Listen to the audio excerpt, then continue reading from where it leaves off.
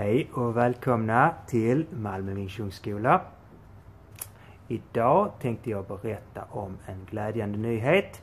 Det är att vi har fått träningstillfällen av Fritid Malmö på Johannesskolan.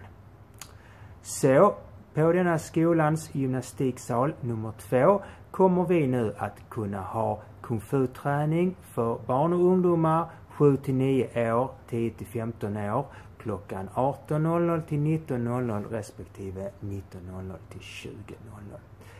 Detta tycker vi är himla bra för att det är många föräldrar som inte hinner lämna av sina barn till klockan 5.